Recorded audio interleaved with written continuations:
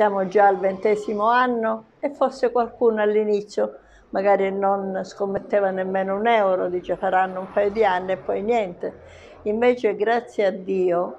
con eh, l'aiuto di tutta la mia famiglia, dei miei figli, dei miei parenti, degli amici soprattutto, che si sono dedicati con amore, passione e dedizione a soddisfare quelli che sono gli obiettivi della Fondazione, cioè promuovere la crescita culturale e sociale della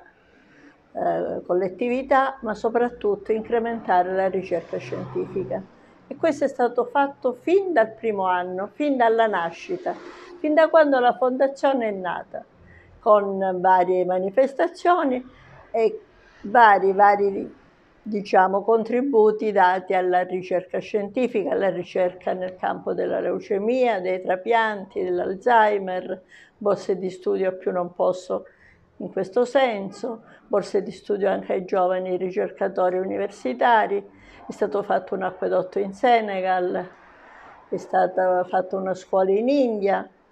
e per non parlare delle iniziative culturali, sociali che abbiamo sempre fatto parte noi intanto cogliamo l'occasione per ringraziare tutti i donatori, spesso anonimi, che hanno consentito alla Fondazione di eh, traslocare dalla vecchia sede e ritrovarci qui in questa eh, sede rinnovata. E rinnovamento è la parola che credo che possa in qualche modo più di tutte segnare questo anniversario dei vent'anni. Eh, rinnovamento nel, nei luoghi, ma anche rinnovamento come linguaggio, perché tra le attività che eh, abbiamo posto in essere in quest'anno eh, e anche in, diciamo, in vista dell'anniversario eh, di papà c'è un'iniziativa rivolta ai giovani, rivolta alle scuole, cercando di eh, parlare un linguaggio nuovo, un linguaggio diverso, cercando di parlare il linguaggio delle nuove generazioni. Quindi anziché promuovere il classico, solito, tradizionale tema, scegliendo una eh, tematica di attualità, premiando poi i ragazzi con una borsa di studio, abbiamo